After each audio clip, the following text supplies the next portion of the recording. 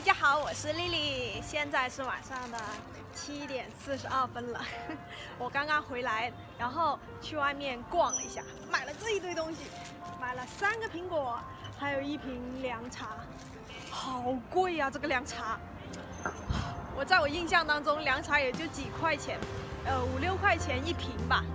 结果这个凉茶竟然要卖十二块钱，我的天哪！什么样的凉茶这卖这么贵？我就觉得这个凉茶真的好暴利啊！大家那个啥，哎呀，真的，那个卖凉茶也算是一条不错的生意路子，已经 get 到了。大家今天过得怎么样呢？我今天上班跟昨天一样差不多吧，也还行。今天周三了，想想再过两天就到周末了啊！哎呦，想想就激动，就可以回呃待两天，然后就不用去上班。唉，老实说，我这一段时间上班，嗯，有一点点小煎熬，这不是这不是很好，对吧？所以呢，我是在努力着好好上班，但是呢，还是会有一点煎熬，真的。哎呀，我想回家了，那个五一还没到啊，好久啊，要到月底。哎呀，大家计划着五一要去干什么呢？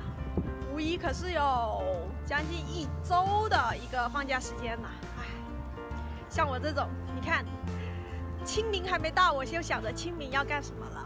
然后三月三还没到，我就已经想着三月三要干什么了。现在呢，五一还没到，我已经想着啊，五一要干什么呢？